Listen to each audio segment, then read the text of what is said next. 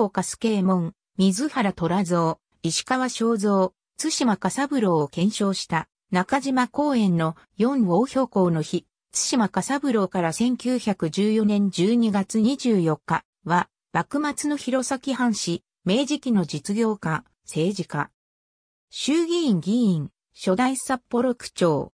道の区国津軽郡弘前城下大官庁で、弘前藩士、津島利助の息子として生まれる。函館戦争に従軍。弘前藩公用人を経て、明治4年7月青森県に出資。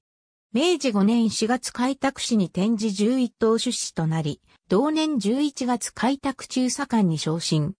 会計整理、教育、衛生普及、商工業振興などを担当し、1878年7月に退官した。その後、実業界に転じ、開拓市経営の醸造場の払い下げを受けて、酒造業を経営。また、元開拓市管理、堀はじめらと共に、札幌の商社の講師である、大宇社を創設し、米国雑貨輸入販売、海産物輸入業を営んだ。1889年、北海道伝統社の設立に尽力し、1891年11月、火力発電により営業を開始し、札幌に初めて伝統が灯った。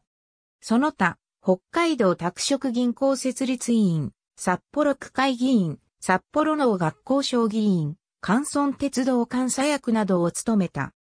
1899年、札幌区が設置されると、初代区長に就任し、1902年、区長を辞任して、第7回衆議院議員総選挙に、北海道庁札幌区から出馬するも落選。